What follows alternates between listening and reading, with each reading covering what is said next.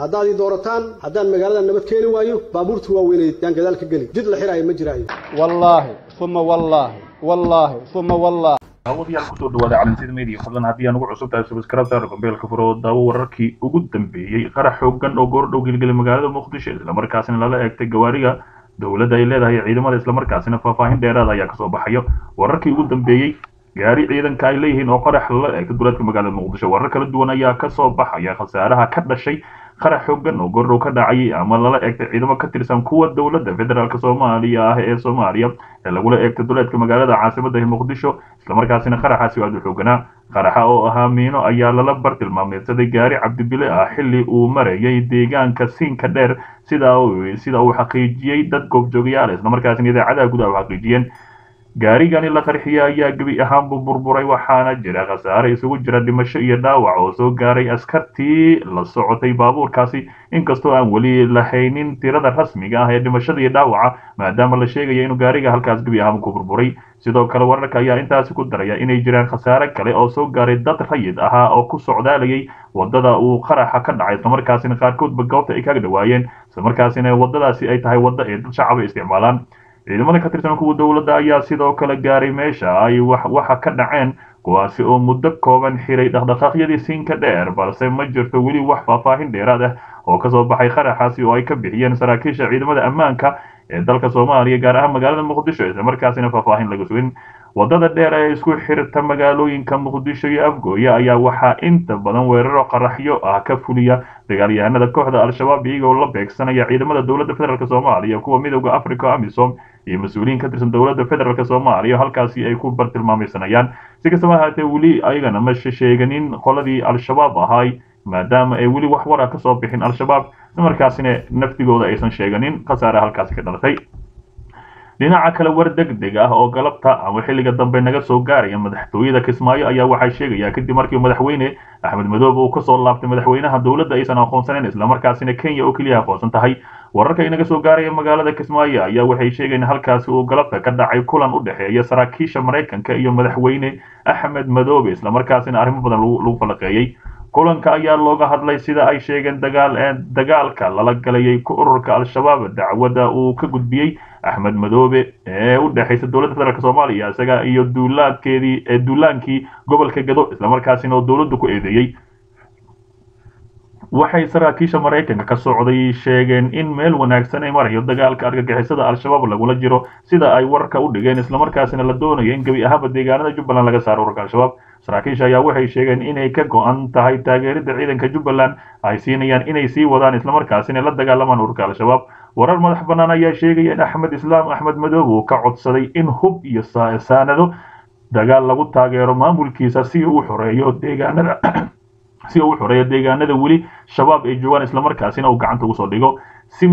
maldahan ayuu u sheegay in maraykanka uu ciidankiisa jubbaland hoose ciidankiisa jubbaland hoose ku sugan ka taageerayaan dagaalka dowladda dhexe ee lagula galo macnaha ay ka socdo gobolka gado balse taasi wax jawaaba kama bixin ciidamadii saraakiisha maraykanka ahay ee arrintaasi kala shariya islamarkaasina waa ay ka gaabsadeen. Ciidamada maraykanka ayaa waxay ku sugan yihiin duleedka kismaayo iyadoo dhowr mar ay ciidankaasi ka taageereen duqaymo lagu beegsanayay al-shabaab deegaanada jilib iyo bu-aale islamarkaasina wax badan halkaasi ka geysteen. Si kastaba ha ahaatee kulankaasi ayaa war-saxaafadeedkiisa dib laga soo saari doonaa islamarkaasina axmed madoobe ayaa xaaladda ku cakaran tahay maadaama gobolka gadooda dhaqaaqyadii ugu dambeeyey xiisada aad kala duwan ay ka taagay ee ka taagan tahay islamarkaasina goboladaasi markii la soo qabta la doonaya in axmed madoobe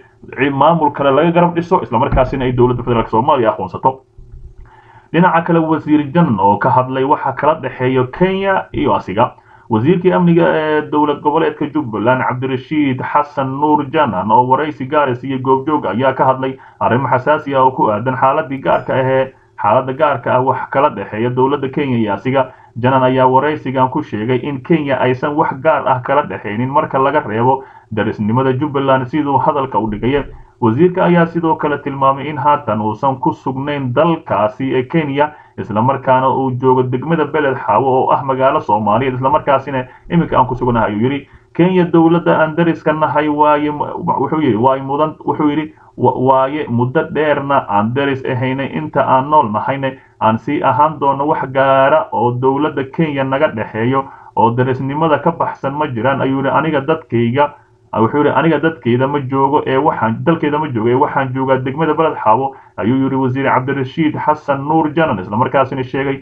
inuu ku sugan yahay degmada beled xaabo sidoo kale wuxuu carabka ku dhuftay in uu wuxuu yidhi carabka inuu ku dhuftay in uu ujeedaha iyo dhaqdhaqaaqyada uu ka wado gobolka gado ay tahay sidii uu dib ugu soo celin lahaa. Xasiloonidii gobolkaasi oo uu tilmaamay in meesha laga saaray nabadgelyadii ay ku naaloonayeen shacabkaasi islamarkaasina iminka mas'uula ka saaran tahay. Aniga ujeedadaydu waxa weeyaan ayuu yidhi in shacabka noloshii shalay ay ka haysteen in ay dib u helaan oo hadda gacantoodii laga bixiyey nabadgelyadoodii in ay helaan iyo in aan badbaadiyo sharaftoodii lagu xadgudbayay ayuu mar kale yidhi wasiir cabdirashiid janan. Hadalkaasi ayaa ku soo aadaya iyadoo haatan xiisad u dhexaysa dowladda federaalk iyo jubbaland laga dareemayo degmada beled xaawo ee gobolka gado islamarkaasina guud ahaanba laga dareemayo dalalka dariska ah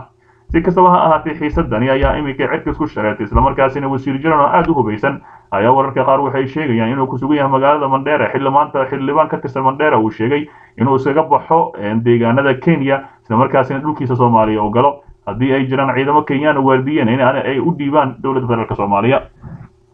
Dhinaca kale uhuru kenyatta oo lagu dhaleeceeyey siyaasadda soomaaliya ee ku kooban axmed madoobe oo keliya islamarkaasina uu taageerayo dhan kastane meelaha kalena oo mucaarad ku yahay taasi ayaa waxaa ka soo horjeestay xildhibaan ka tirsan golihiisa baarlamaanka ee dalkaasi kenya. Xildhibaan moses kuria oo ka tirsan baarlamaanka dalka kenya kuna matala madaxweynaha dalkaasi uhuru ayaa dhaleeceyn u jeediyey wasaaradda arrimaha dibadda ee kenya islamarkaasina si weyn u bahdilay. Qoraal kooban uu soo soo dhigay bartiisa twitterka ah ayuu sheegay in siyaasadda kenya ee arrimaha soomaaliya ay tahay mid qar iska tuurnimo ah oo ay samaynayso wasaaradda arrimaha dibadda kenya islamarkaasina keliya ay ku kooban tahay hal meel. Waxa uu sheegay in siyaasadda kenya ee soomaaliya keliya aysan ahayn jubbaland balse looga baahan yahay wasiirka arrimaha dibadda ee rayle omamamo in ay la timaado siyaasad aan ahayn tan wasaaradda arrimaha dibadda dalkaasi jubbaland ma noqon wuxuu yidhi jubbaland ma noqon karto qodobka keliya ee qeexaya siyaasadeena soomaaliya. Waxaan ugu baaqayaa waxaan ugu baaqayaa omamamo inay qeexdo siyaasadeeda arrimaha dibadda oo aysan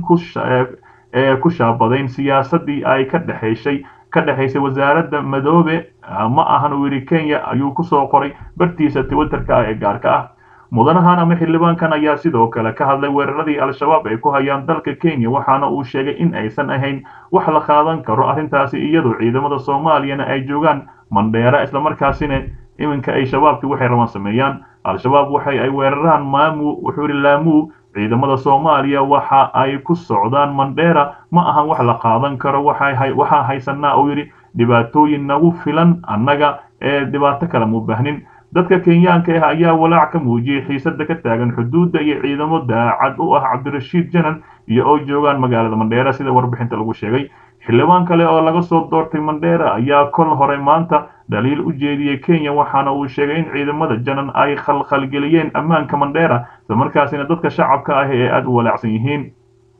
Gabadha lagu magacaabo rayl gabadha lagu magacaabo ray omamamo ayaa dhowaan xilka kala wareegtay wasiirkii hore ee monica joma taas oo la xusuusta in ay siyaasad arrimaha dibadda soomaaliya ay saameyn xoogan ku yeelatay sannadkii hore